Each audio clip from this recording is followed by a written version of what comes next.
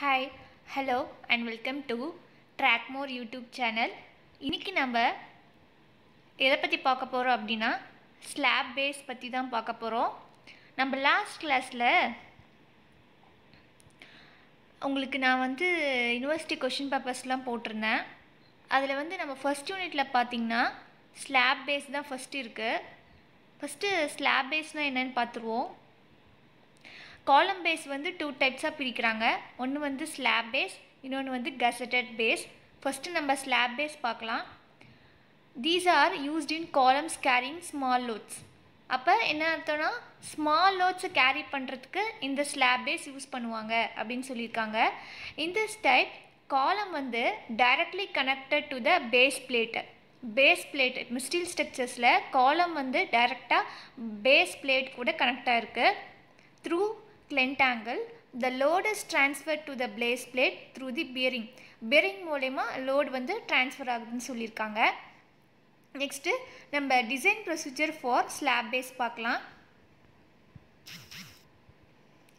Design of slab base the design of slab base consist in finding size and thick thickness of slab base சைஸும் thickness வச்சு தான் நம்ம வந்து டிசைனை வந்து பண்ண போகிறோம் size of the base plate வந்து for finding the bearing strength of concrete which is given by 0.45 FCK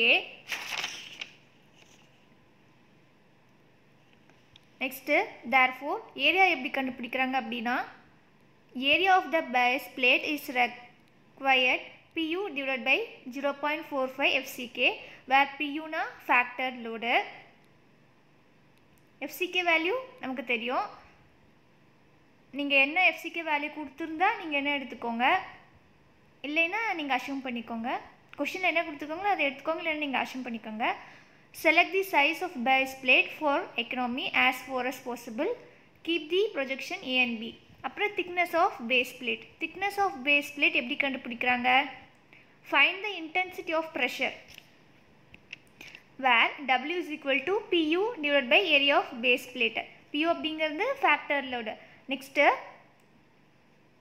minimum thickness required is given by minimum thickness எவ்வளோ அப்படின்னா TS is equal to 2.5 W A square minus 0.36 whole square into omega m naught divided by Fy. Power of 0.5 should be less than TF.